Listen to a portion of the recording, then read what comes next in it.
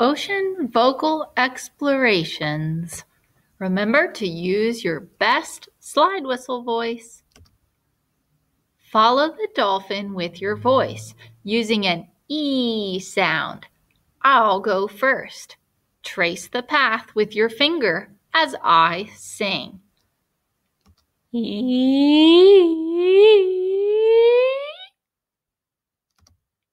Now you try. Point and follow the dolphin with your voice using an E sound. Your turn.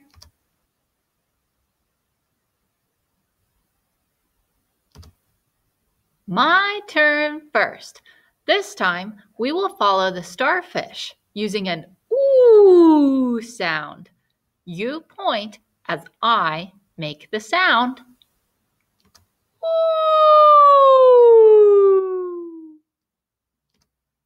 Your turn. Point and follow the starfish using an ooh sound. Here we go.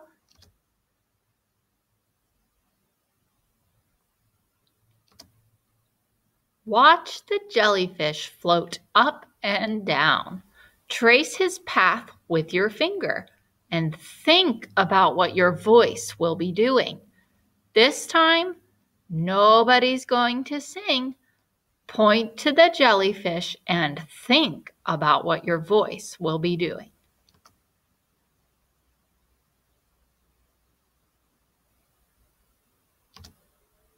Now point and follow the jellyfish with your voice.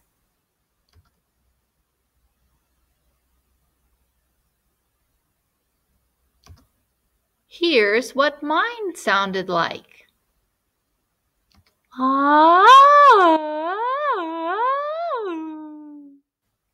Maybe yours sounded a little different. That's okay.